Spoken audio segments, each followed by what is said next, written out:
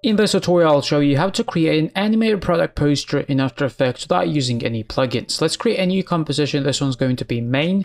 First let's create the background, for that I'll select the ellipse tool and make the fill color off white. Then I'm going to drag from the center holding Ctrl and Shift at the same time to get the proportional size. Make it nice and big until it covers the entire composition. Align perfectly in the center. Then press S to bring up scale. Create a keyframe at the beginning. Make the value 0. Go 1 second forward. Set the scale to 100%. Then select the keyframes. Right click any of them, keyframe assistant easy ease or you can press F9, that's what I'll be doing from now on. Then let's head over to the graph editor, right click, make sure you are in edit speed graph, then just select the keyframes and drag the handles all the way to the center to create a massive peak to make a snappy animation of the background. That's it for the background, let's rename the shape layer to BG and lock it. Now let's create a new composition and name this one media.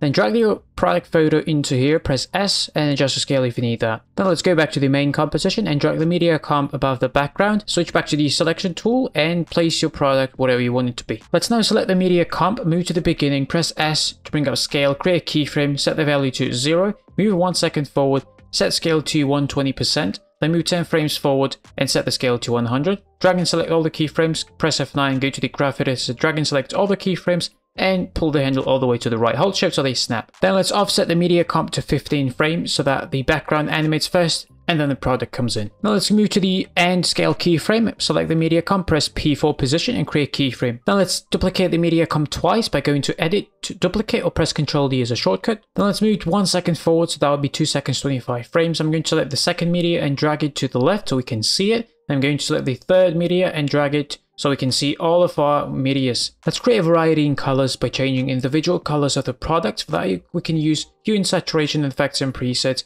search for it and add it to the media comp. Then by just dragging the master hue slider, we can see that the colors are changing. So you're free to choose your own colors. Then just copy and paste the hue and saturation to the other media and drag the hue slider further to give it a different color. Then select all the medias, press P for position and select the keyframes of the bottom medias. Press F9, go to the graph editor, select this keyframe and drag it all the way to the left. And that's essentially what we have. Let's select all the media comps, right click, pre-compose, I'm going to name this a media underscore all. Then I'm going to search for light sweep and effects and presets and add this to the media all composition. I'm going to set direction to 0 degrees and bring the center point to the left of our product. I'm also going to set sweep intensity to 50. Then I'm going to move to 2 seconds, 15 frames and create a keyframe for the center of the light sweep. Move half a second forward so that will be 15 frames at 3 seconds and drag the center point across to the right side. This I'll have a quick highlight going across the product. Let's also search for drop shadow effects and presets and add this to the media all. Go to set opacity to 100%, distance to 40 and soft to 200. This I will have a soft shadow separating the products from the background.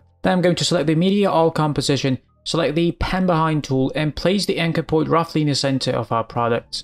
Then I'm going to move to the beginning of the timeline, switch back to the selection tool, press R, then hold shift and press S to bring up both of those properties and create keyframes for scale and rotation. I'm going to set rotation to minus 10, go to 5 seconds and set scale to 110% and rotation to positive 10 degrees. That way the product will constantly animate rather than being static. That's it for the product, let's now select the type tool. I'm using Montserrat Black and I'm going to type the text, something like new product launch. I'm going to switch back to the selection tool, properly position the text and resize it slightly. Let's create the scaling animation for the text so they match with the product animation. Let's click the drop down for the text, click on animate, scale, then click on the add button, property, opacity. Set scale and opacity both to 0%, then open range selector, move to the beginning of the composition, create a keyframe for offset, set the value to minus 100%, move 1 second forward, set it to a positive 100%. Open advanced drop down, set shape to ramp up and ease high all the way to 100%. Let's also offset the text to 15 frames so it matches with the product animation. Now let's create the background for the text. For that I'll select the rounded rectangle tool, give it a fill of a uh, white color. Make sure you're not selecting anything.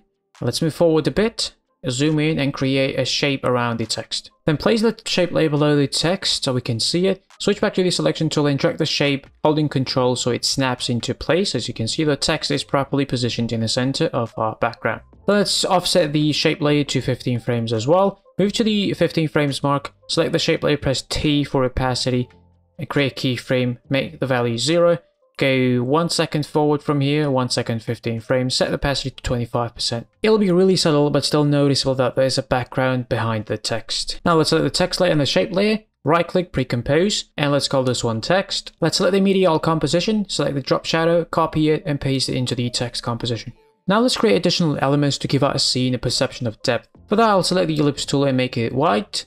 Then I'm going to drag from the center holding Ctrl and Shift. Create an ellipse like that, then right click, layer styles, inner shadow, then open its properties, go to set angle to minus 45, distance to 150, and size to 200. Then let's right click on the shape layer, select pre-compose, I'm going to name this one circle. Then select the circle, switch back to the selection tool, and place your circle accordingly. You can resize it as well, then duplicate and create two copies of it so you should have three circles in total. Then select them all and drag them below every other layer except the background so they appear behind our main object. Then let's search for Gaussian blurring effects and presets, add this to the circle number 1. Let's set blurriness to 100 and select the blur, copy it and paste it into the other circles as well. Then let's search for tint and add this to the circle. I'm going to match the colors of the circles to the colors of the products by mapping the white color individually. So let's select the green, then copy the tint effect, paste it into the other circle, and map it to a different color of the product. And then do the same for the last circle, mapping it to the last color of the product.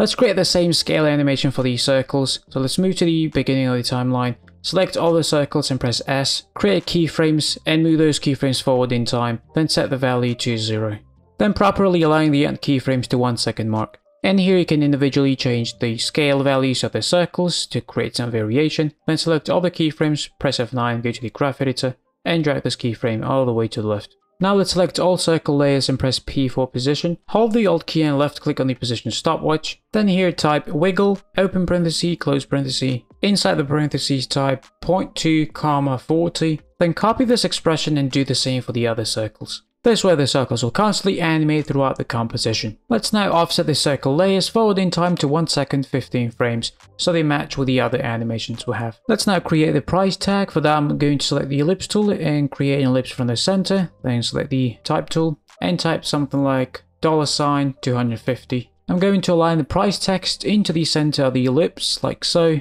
Then select both layers, right click, pre-compose, and I'm going to name this one price. I'm going to slightly resize it and position it into the left corner. Now let's move to the beginning of the timeline, press S, set scale to 0, create keyframe, go to 1 second, and set scale to 70%. Offset the price composition to 1 second 15 frames, then select the keyframes, press F9, go to the graph editor, select the keyframe, drag it to the left. Select the media all composition, copy the drop shadow and paste it into the price. Let's now preview our final work. And as you can see, just like this, we've been able to create an awesome animated product poster in After Effects without using any plugins. If you enjoyed this tutorial or learned something new, please give this video a like, I would really appreciate that. Thank you so much for watching and I'll see you in the next one. Peace out.